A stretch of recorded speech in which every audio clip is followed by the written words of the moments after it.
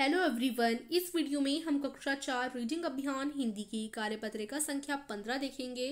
दिनांक है इसकी तीन फरवरी 2022 तीसरा सप्ताह चल रहा है और वर्कशीट की थीम है खूबी।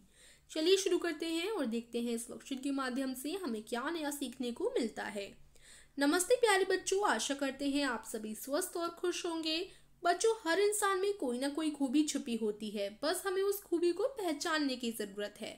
आइए कहानियों का सिलसिला आगे बढ़ाते हुए एक जंगल में चलते हैं और जानते हैं कि वहाँ किसकी खूबियों की बात हो रही है। तो यहाँ एक जंगल की कहानी दी गई है। चलिए सबसे पहले इस कहानी को रीड करते हैं। एक जंगल था। वहाँ सभी जानवर परिवार की तरह मिलजुल कर रहते थे।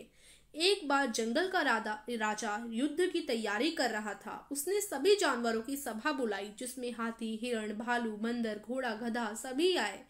राजा ने सबको उनके काम सौंप दिए, केवल खरगोश और गधे को काम देना बाकी था।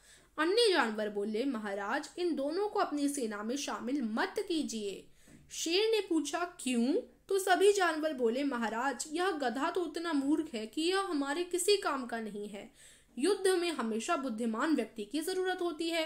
तभी भालू बोला, महाराज, ये खरगोश बहुत डरपोक है। तभी राजा ने कहा, भाइयों, आपने गधे और खरगोश की कमजोरियाँ तो देख ली, लेकिन क्या आपको इनकी खूबियों पर ध्यान दिया?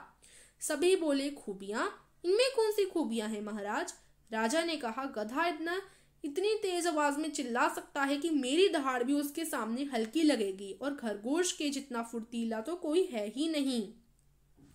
इसलिए मैं गधे को उद्घोषक बना देता हूँ और खरगोश को संदेश वाहक बनाता हूँ। हर किसी के अंदर कोई ना कोई खूबी ज़रूर होती है, बस हमें ज़रूरत होती है उसे ढूँढने की।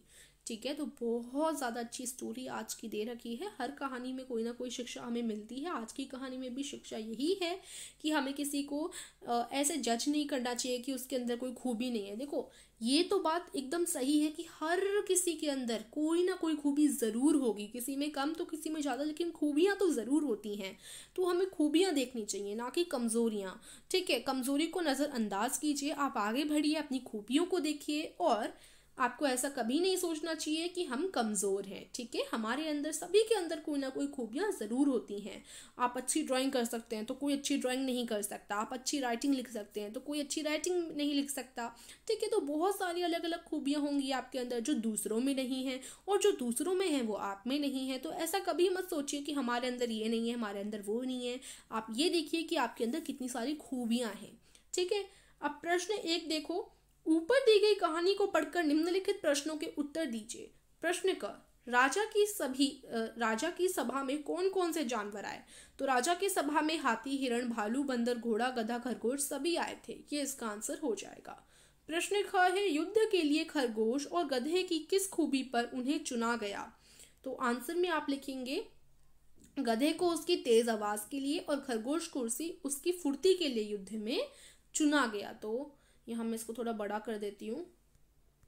ये देखिए, ये इसका आंसर हो जाएगा। फिर आगे है, अपने परिवार के सदस्यों की कोई एक खूबी लिखिए। माता की तो माता अच्छा खाना बनाती हैं तो आप लिख सकते हैं खाना बनाने की अच्छा खाना बनाने की, ठीक है? तो आप लिख सकते हैं, स्वादिष्ट, ठीक है? यहाँ स्वादिष्ट आप यूज़ कीजिए। स्वादिष्ट, ठीक है? स्वादिष्ट भोजन बनाने की, ठीक है? तो आप अच्छे से लिखना है इसको। माता की खूबी है, स्वादिष्ट भोजन बनाने की, ठीक है?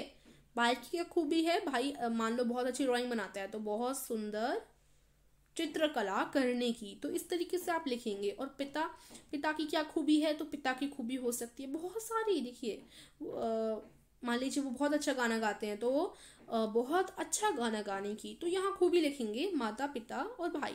ठीक है, इन सब की आपको एक एक खूबी लिखनी है अपने परिवार के सदस्यों की। फिर आता है, आओ बातचीत करें। इसको देख लेते हैं। तो यहाँ पर ये बोल रहा होगा, हमें गाँव जाने में कितना समय लगेगा? तो ये बोल रही होंगी, शायद दो घंटे लगेंगे। और ये बोल रही होंगी, नहीं, एक घंटा लगेगा। तो इस तरीके से आप यहाँ पर कर सकते हैं, इनका संवाद करवा सकते हैं। तो अगर इस वीडियो से आपको वर्कशीट करने में थोड़ी सी भी हेल्प मिली हो तो प्लीज़ हमारे चैनल को सब्सक्राइब कीजिएगा और इस वीडियो को ज़रूर लाइक कीजिएगा। So, meet you soon in the next video. Thank you for watching.